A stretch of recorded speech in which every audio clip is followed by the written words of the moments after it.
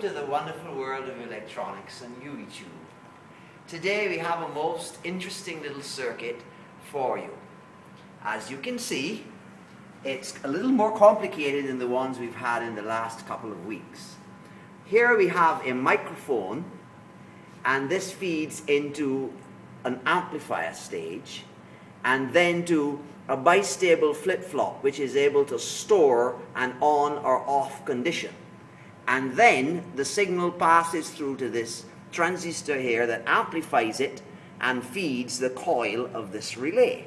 So the purpose of this little circuit is to receive a sharp pulse, say from a hand clap on the microphone, and when that happens, it will cause the circuit element to trip and the relay to close. Another clap will turn the relay off. So you get it, clap on, the light comes on or relay comes on, clap, the light goes off or the relay goes off. We don't have it hooked to a light at the moment, but we're interested to prove that the relay closes and opens. Once the relay closes and opens, the rest is a done deal. So we turn it on here now, and it comes up in the on condition. Okay? So we do a sharp clap, and as you can see, the contact is open. So the light would be off at this point in time. Okay, now we've connected the bulb. As you can see, the power, the mains power is coming down here.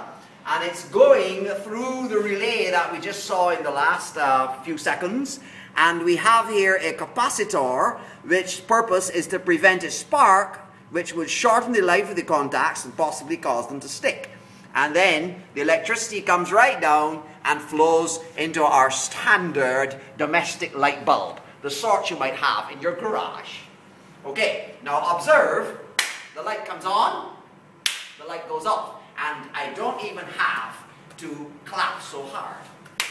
A slightly shorter clap, slightly shorter clap. Notice the noise is less. Oops, that's not.